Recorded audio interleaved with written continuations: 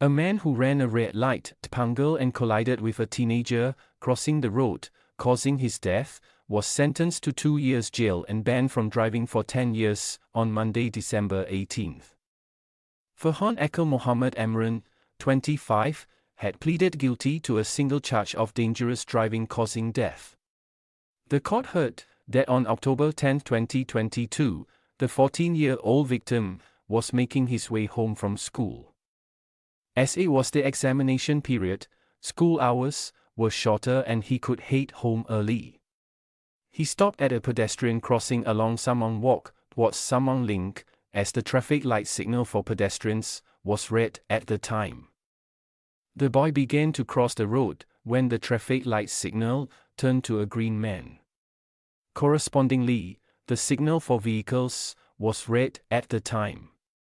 Meanwhile, Farhan was driving to his father's home.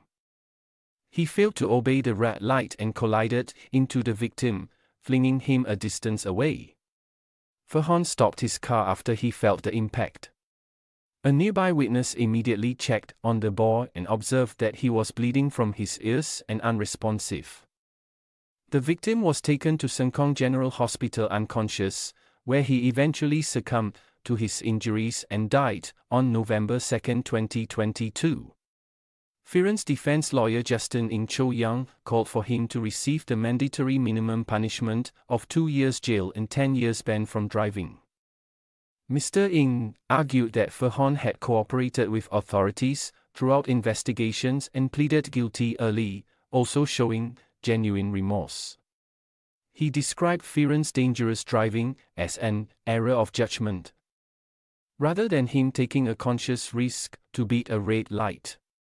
The accused had believed that a green traffic light signal at a further junction meant that he had the right of way to proceed straight. Said Mr. Ng. However, the traffic light at the location of the accident was red when his car collided with the victim. The accused also had a clean driving record, said the lawyer. Farhan recognizes that there is nothing he can say or do that will ever be sufficient to make up for the tragic loss of the teenager, said Mr. Ng. The accused sincerely apologizes to the victim's family and hopes that they will find closure. For dangerous driving causing death, Farhan could have been jailed up to eight years.